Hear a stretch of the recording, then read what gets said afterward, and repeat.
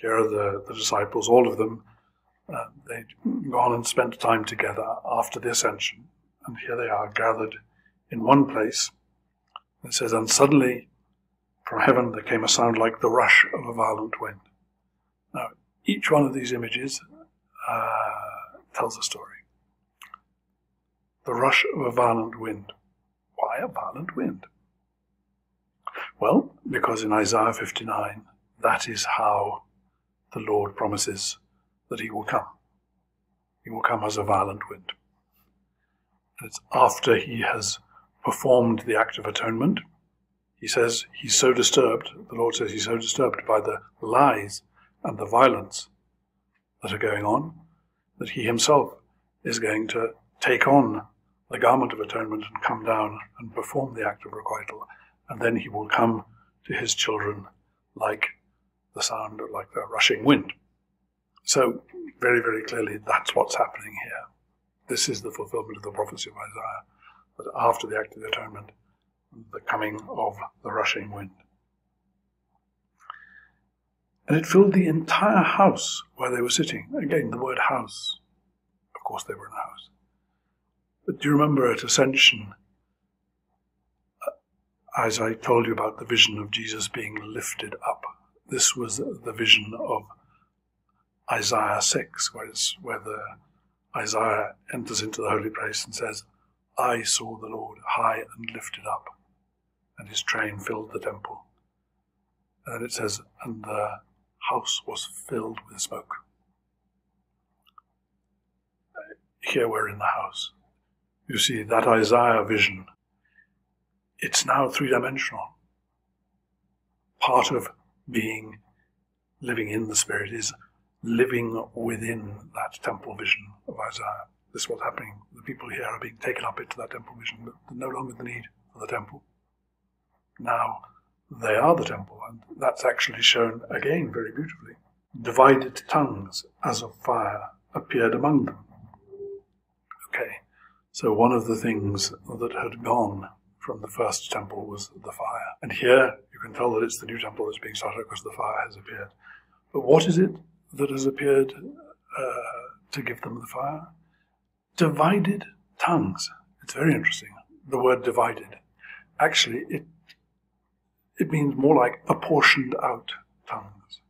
And it's referring back to our old friend Zechariah, who says, The spoil that was taken from you will be apportioned out to you, referring precisely to the crucifixion. So here, in this new temple, the lot that was taken from them, Jesus, is being apportioned out to them. It is He Himself. So Jesus Himself, the uh, the one who was killed, is now being given them as portions, and they are becoming those portions. The tongue is resting on each of them. So, whereas in a temple, the priests, after having sacrificed uh, the, the sheep or the lamb, um, they would then hold aloft some of the meatier portions burning. So the flames of fire might well refer to that. And all of them were filled with the Holy Spirit and began to speak in other languages, as the Spirit gave them ability. So here we have something interesting. This is the beginning of the undoing of Babel, where all people had been scattered. Now all people are being brought together in unity. And this is how it's described the devout Jews from throughout the diaspora, all of whom spoke other languages, for whom Greek was probably the language they had in common, not Hebrew. They were, uh, they were in Jerusalem for the, the feasts, and they are suddenly hearing themselves spoken to as if in their own language. And it says, the text says, At this sound the crowd gathered and was bewildered. Again, two wonderful little giveaway words. Because gathered is what, of course, um, uh, happened when the people tried to gather themselves together at uh, Babel, in the Tower of Babel tried to make themselves one so that they would all be united. Then it says in the, the book of uh, Genesis that God, uh, God scattered them and confused them And that's where the word Babel comes from. It just means confusion. And the Greek word here is the crowd gathered and was confused.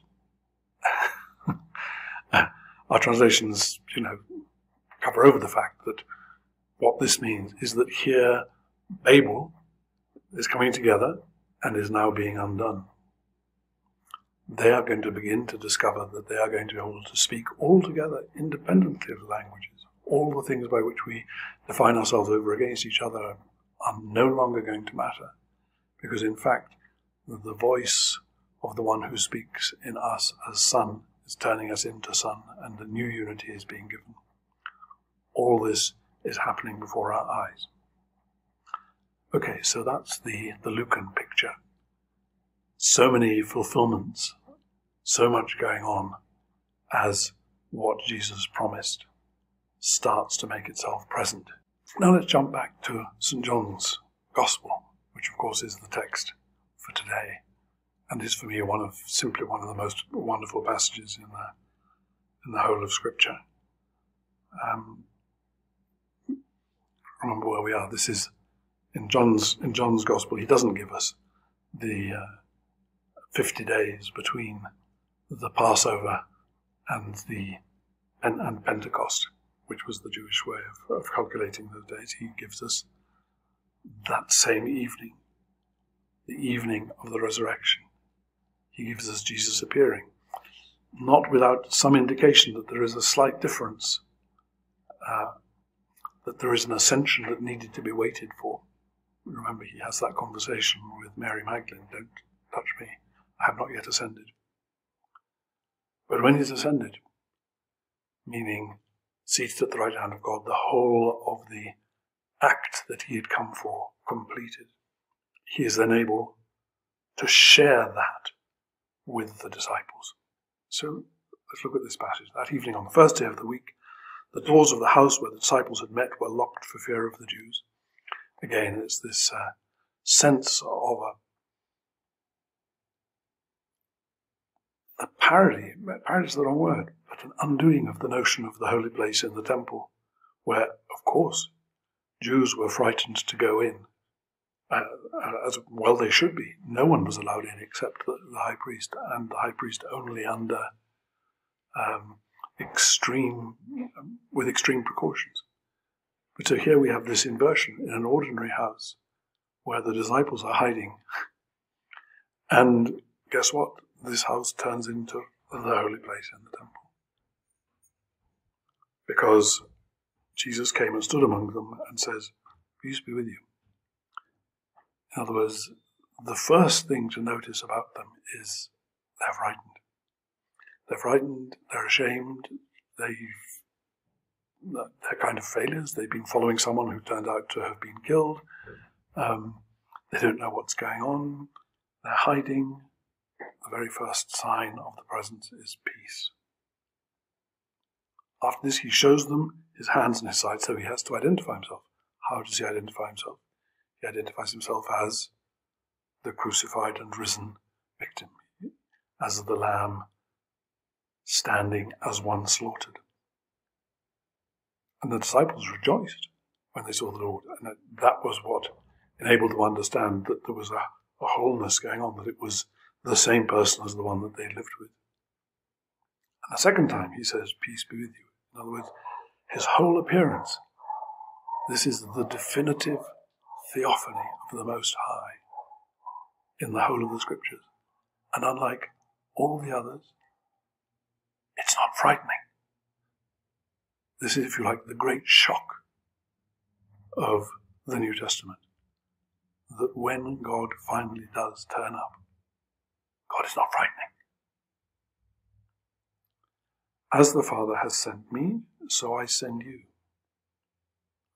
In other words, you are now going to become part of the continuation of my work of opening up creation.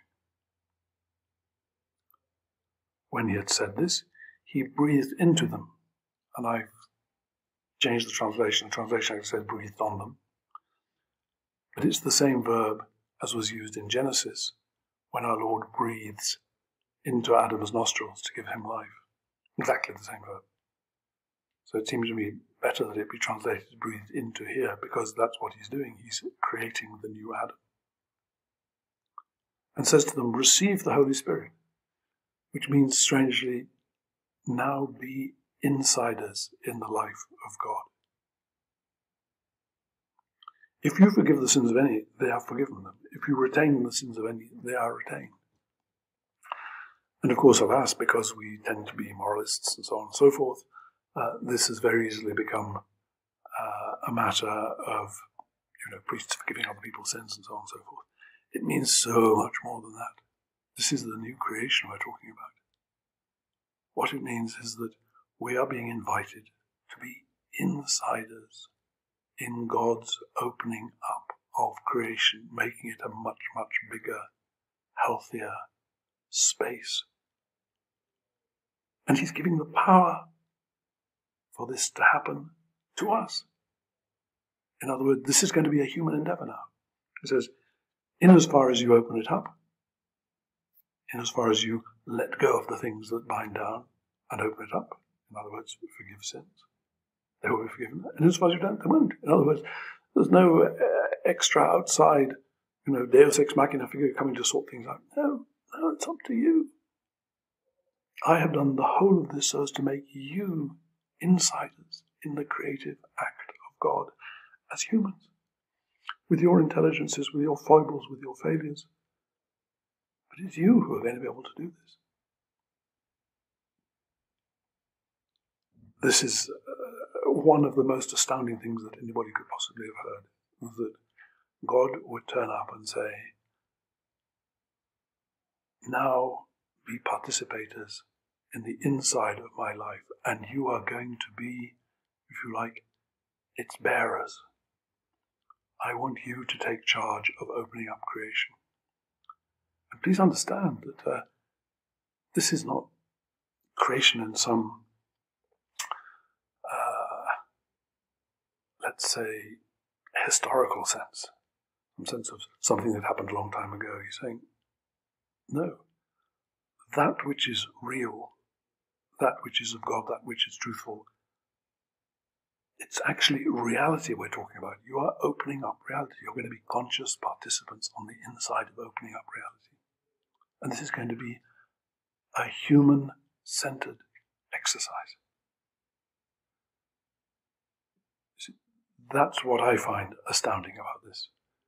We think of the Holy Spirit, we listen to the uh, imagery from uh, Luke, we read the passage here